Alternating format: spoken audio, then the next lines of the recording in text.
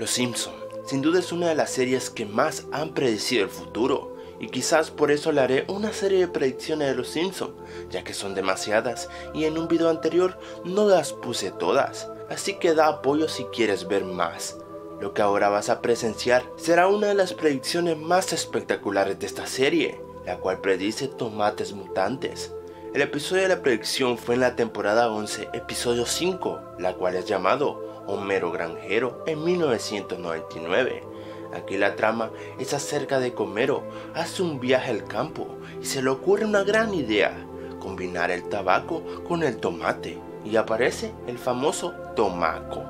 Por supuesto, el resultado fue crear un tomate mutante que nadie podía comer porque eran malo para su salud. Ahora, en el año 2011, hasta cuenta cuánto ha pasado desde 1999 hasta esa fecha. Exactamente el 22 de marzo ocurre un accidente nuclear en Japón, el de Fukushima. Si tú ves noticias ya estarás enterado. Hasta aquí todo comprendido. Ok, en el año 2003, en alrededor de Fukushima, ahí empezaron a salir vegetales y frutas extrañas.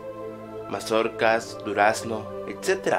Pero entre ellas estaban los tomates, que se pueden ver muy claro. No son como los que tenemos en casa.